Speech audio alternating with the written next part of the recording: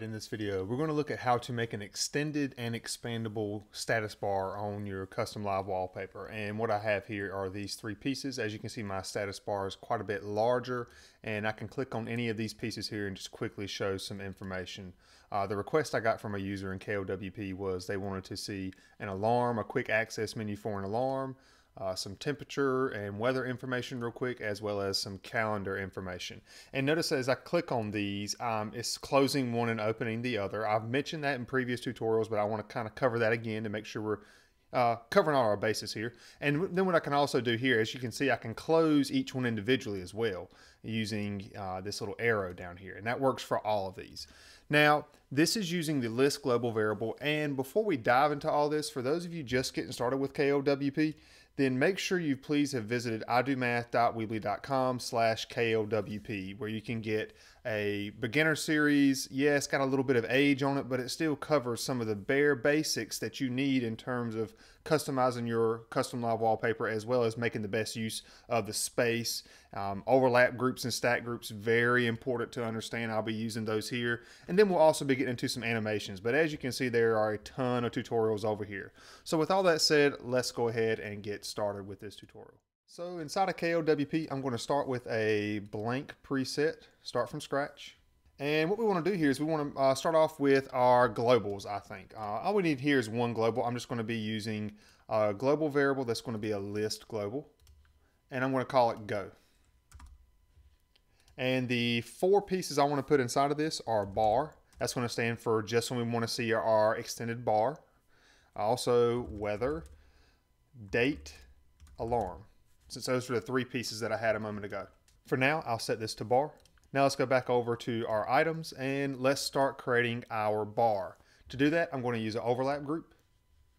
And inside of this overlap group, I'm going to go ahead and rename it to, to keep things organized. I'm going to call this my bar.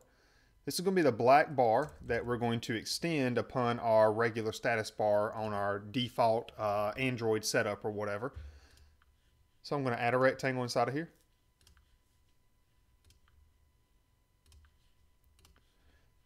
And for this rectangle, I want to set its width to the width of the screen. Of course, you could do this, or we can type in a function. Uh, it falls underneath the system info, and that's going to be SI in parentheses R width. And make sure you close it up. So 720, and that's going to automatically make it the width of the screen. And now I'm just going to bump the height to where it's going to be big enough to uh, fall, you know, this top part, we're going to, it's going to be behind the status bar, and then we're going to see the rest of it below it. So uh, let's try 100. I'm just going to check that real quick before I apply color. And that looks good to me. So, you know, all, all we're really seeing is, is about half of it, roughly, give or take. So back inside of here, let's go ahead and change the color of that rectangle. We'll do a black. That way it blends in very nicely with the default bar. And now what we need to do is apply inside of this overlap group that I've called bar, I need to put my three pieces of text. I'm gonna do each one individually. So my first one, I will do today's date. That's gonna be a DF function, a date format function. And I'm just gonna use this one right here. I'm going to delete the years. I'm cool with just three letters of the month showing, and I'm just going to put the days, or whatever day of the month it is, I'm going to do DD for padding of zero. And that padding of zero will also take care of, like, if it's August 1st, it'll say AUG01, but I'm cool with that like that. And now what I want to do with this one is I want to put it in the bottom left-hand corner of this overlap group because remember, I have this sitting inside of that overlap group bar. I'm to bump the size up to about, uh, maybe 40 might be too big, but I'm to test it out and see. Let's go to position for this text and let's do the bottom left. That's to put it at the bottom left of that rectangle because we have all this stuff inside of an overlap group. Let's apply some left padding to get it off of the left edge a little bit. That right there looks pretty good. Let's save this. Let's go back to the home screen and that looks just fine. It's not cut off by the default status bar, so I'm happy with that. Now, while we're inside of this one, let's go ahead and apply a touch to this. And when we touch this date, we want to toggle that global switch that we created. And I'm going to talk more about that global switch in a minute. So global switch go, and I want to make it the date. So whenever I touch this, it's always going to set that global switch to date, always. Yeah, we could use a text global here, but if you're just getting started with KLWP, this is the easiest approach to getting this animation to work correctly. So I'm done with this one. I'm just going to copy and paste to maintain my same text size. And if you had colors or fonts, you know, all those properties still hold. So now I have another text item. I'm going to position this one in the center. Actually, no, not the center. I want to do the bottom. That way it puts it at the center, but at the bottom of the overlap group. I'm going to take away that left padding and I'm going to name this one inside of text. I'm just going to do the current temperature.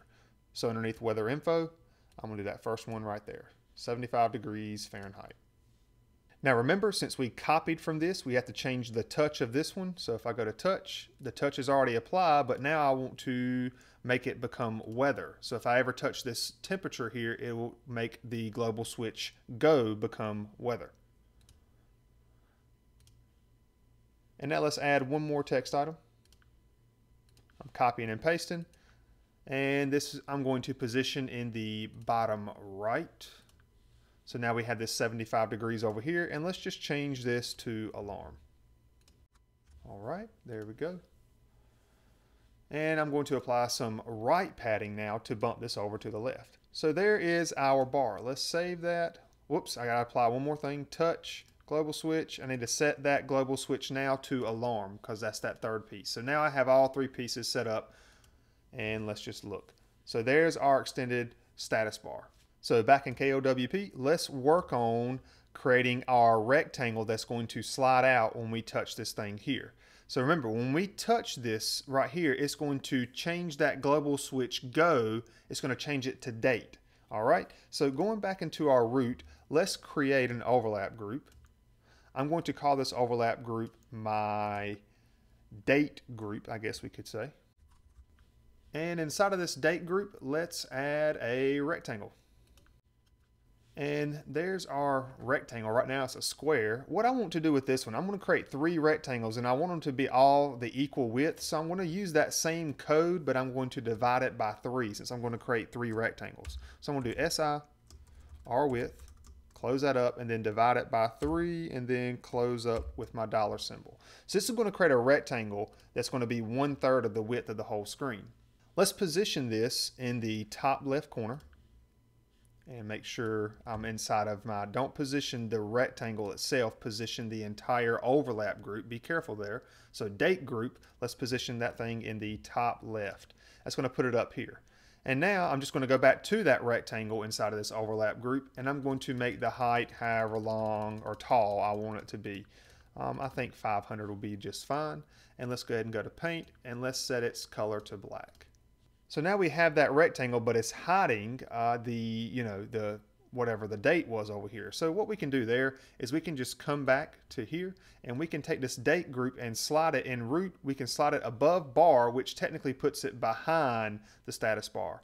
So just like that, we have um, our date group, but now we need to talk about animations and stuff like that. So I'm just going to come inside of here real quick and I'm just going to uh, go to its animation inside of this date group. And the only time I want to see this thing is if it's equal to date. Um, remember, we got that global switch. That global switch has four items in that go list global. It has bar, date, weather, and alarm. The only time I want to see this thing is if it, that global switch is equal to date. If it's not equal to date, I want it to slide off the screen. Listen to what I just said there. If that global switch is not equal to date, I want it to slide off the screen. Well, that's exactly what we're going to do here in this code. So let's go to its animation, react on a formula, and the formula is going to be what I just said, but except we got to type it in, you know, the, the KLWP function way. So dollar symbol, if that global variable go, that list global, if it's not equal, notice exclamation point equal, if it's not equal to date, I want to animate this thing forward, which is essentially going to take it off the screen. I'm going to slide it off the screen if our global variable is not equal to date. Otherwise, I want to bring it back. So I'm using an uh, F. You can use F or 1. You can use 0 or B. I'm going to do forward and back. But think of this as when it's not equal to date, when that global variable go is not equal to date, I'm going to slide it forward. In this case, that means it's going to go off the screen. Well, if it is equal to date, I'm going to bring it back. Think about it like that. So what we're going to do here, as you can see, we already have an animation going on. I want this thing to slide up this way. And in this case here, the angle is going to need to be 270 degrees. So I'm just going to click on that angle and I'm going to type in 270. Now let's test that out with the play button. And as you can see, it is sliding off, but maybe it's sliding a little bit too much. So that's where we can adjust this speed a little bit. I'm gonna try, let's try 50. You might not want it sliding too far off. Let's see if that's going to go all the way off the screen. Not quite. It's not going to go all the way behind that bar, rather. So how about 60? I think 60 is going to be plenty. And then just to give it a little bit of flair, I guess you could say we're going to do some overshoot. So as you can see, that bar is sliding behind this status bar we made. Remember, because we, we changed the layer, uh, we put this rectangle that slides in and out right here, we put it behind the status bar. So what, to give it a little bit of flair, I'm going to do some overshoot. And basically what this is going to do is when it animates in and out, it will uh, have a little bounce to it, so to speak, even though we have a bounce one. Duration, let's cut it down to about five. That way it'll be a little bit snappier and quicker. Of course, you don't have to do that. That means half a second. And the only other thing I want to add in here, sure, inside of this date group, we can add some text. Uh, for now, you know, I'm not going to get into all the stuff of, of, messing with the calendar, but I'm just going to say, hey, uh, date stuff here. All right, so this is where our date stuff goes, whether it be calendar information or whatever. But what I do want to show you and emphasize to you here is this. We want to put a button down here to close this in the event that we don't want to open up one of these. That might not make much sense right now, but let's go ahead and add that inside of this overlap group. So I'm going to add a font icon for that. And the font icon I'm going to add is just some type of random arrow. I'll do this one right here, this arrow upward. Okay, and let's position this in the bottom of the overlap group. So it's going to put it at the bottom of that overlap group since we have it sitting inside of there. Now when I touch this arrow, I want to set that global switch go. I want to set it to bar. So toggle global switch go and let's set it to bar. Now we've spent all of our time working on this, but yet we really haven't seen the animation in action. Well, there's a couple of things. I'm going to go ahead and save this. I'm going to go back to the home screen just so we can see this bigger. And if I touch any of these, remember how we have already applied touches? I'm clicking on them and nothing's happening because I haven't created those groups yet. But if I click on this one, we have an animation going on. Now suppose I click on 75 degrees, it's going to close that up because of the way we had it coded. Remember the code? We said if it's not, well, right now, when I click on that, it is equal to date. So it's going to bring the animation back to how I had it originally. But if I click here or here, the global switch, that list global go, is not going to be equal to date. So it's going to move that animation forward. In this case, it's going to scroll it up and off behind the status bar. So let me click over here. As you can see, it is going away. But if I click back here again, it does open if I want to completely close this thing without opening another one, I can click this now and it's just going to set that global back to bar because that's what happens when we click this arrow. It sets it back to bar, which means nothing else is going to be displayed. Now let's go back into KLWP and we can fix these other ones real quick by copying and pasting and just changing a few things here. So back into root, I'm going to take the date group, the entire piece, and we'll copy and paste and I'm going to rename this one the weather group. All right. Now for this weather group, we want to position this one in the top. That's going to put it right here, but notice now we have it again in front of our status bar. So what we need to do there is go back to root, take our weather group and just slide it above bar. That's going to slide that right there. As you can see, that temperature did pop back up. So let's go into this weather group let's just change the text and let's just say uh, weather stuff here. You know, you can put whatever type of weather information you want. Hopefully that won't be too long. It is a little bit too wide, so I'll just enter down here or you can adjust the width. But I'm not after, again, going into all that detail there. So there's our weather stuff. There's some things we have to change about this. We do not want to change this arrow right here. That arrow, we want this arrow at the bottom of all of them so we can quickly close something without having to open something else up. However, what we need to change is the animation of the entire overlap group that we have now called weather group. So over to its animation, all we have to change is going to be this part of the code right here.